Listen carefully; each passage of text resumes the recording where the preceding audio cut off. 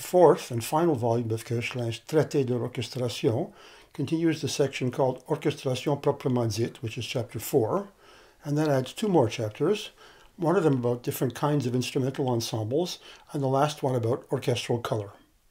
This continuation of chapter 4, which started in the previous volume, goes into many very important problems in depth. First, there is a detailed discussion of orchestration with voices. This is a big subject, since when composers write for the voice, the voice is normally in the foreground with words.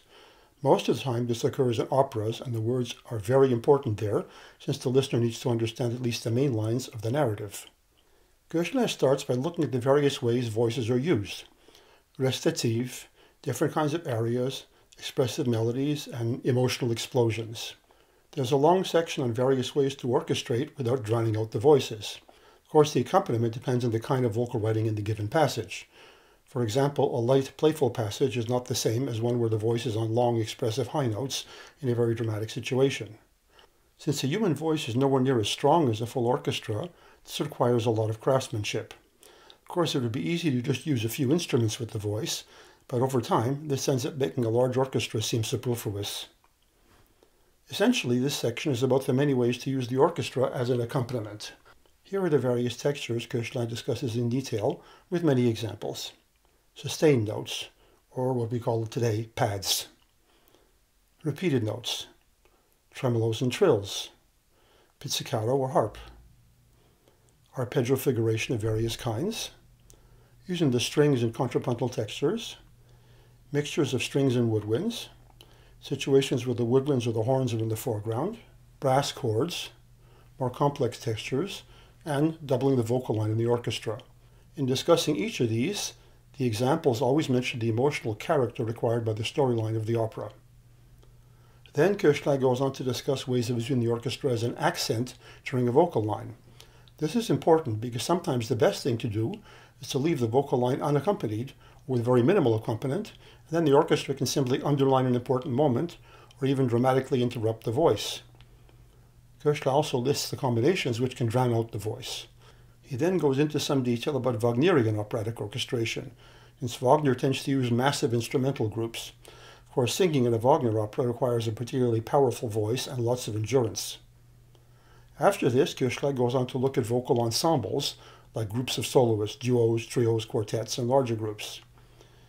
This leads to a detailed discussion of orchestration with choir. This is different from orchestration with soloists, since choirs can be very large. Here there are examples of monophonic textures, examples in two, three, or four parts, monophonic vocal lines accompanied by harmony in the orchestra, and vice versa. Then Koechlin looks at how the orchestra can add counterpoint or touches of color to the voices, followed by full harmony, but where the part writing for the orchestra and for the voices isn't the same. There's also a section about dialogue between orchestra and choir, and even about choirs without words as part of an orchestral texture. The next section of this chapter is about orchestrating piano or organ music, as well as how to orchestrate chamber music. Each of these situations poses specific challenges. It's important not to transcribe the original music note for note, you need to rethink it in orchestral terms. Then there are examples of various orchestrations of the same passage, including single chords. There's an interesting section about orchestrating very loud passages, since certain issues of orchestral balance come more to the fore when the musicians are playing loud. Here are the textures he discusses.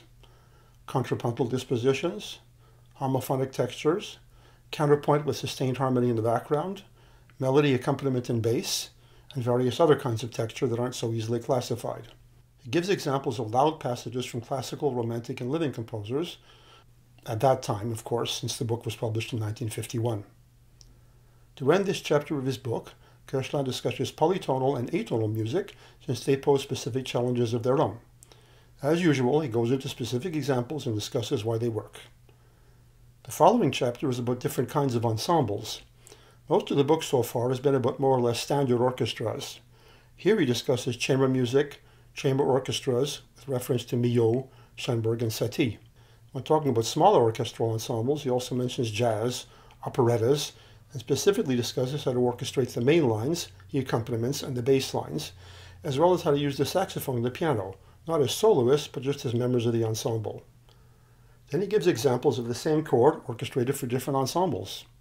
Finally, he has a section on writing for wind bands, how to transcribe pieces for orchestra for band, as well as a short section about the effects of different keys. For example, when the strings are playing in keys that include open strings, they're more brilliant. The final chapter in Koechlin's treatise is called Orchestral Color.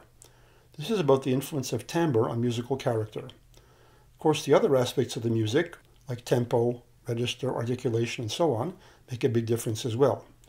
But there's no denying that the same melody, played by the low flute or the high trumpet, will have a very different character. And always explains why the colors he's talking about are appropriate to the musical character. It's important to note that even when talking about one instrument, things like register and articulation are part of the discussion. For example, when talking about the flute, examples are the following characters incisive, idyllic, luminous, magic, playful, somber, and gentle. In discussing these examples, he explains how each of these characters is created. In other words, this is not just a list of orchestral recipes, like we sometimes see in film music. Rather, it encourages students to think about how the instrument can express so many different things when the music is appropriate to the desired character. The first section in this chapter touches on woodwinds, horns, and brass. Each instrument includes examples like the flute ones I listed above. He includes saxophones as well.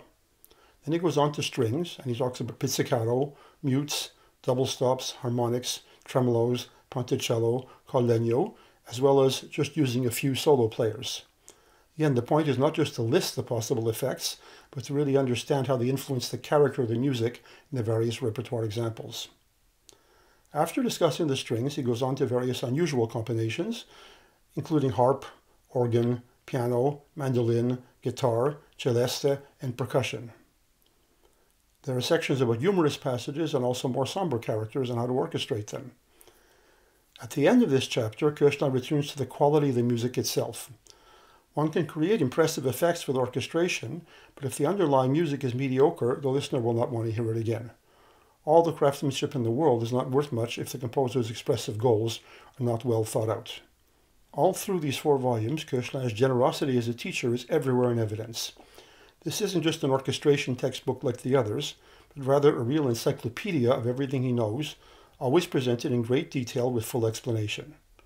Just being able to provide these thousands of specific examples requires an incredibly deep knowledge of the musical repertoire. I wish someone could provide a collection of audio files for all these examples, but it would be an enormous job, and there would also be many copyright issues. But even for people who don't speak French, just the examples are worth the price of the set. This kind of incredible generosity is rare, and it's characteristic of a great teacher.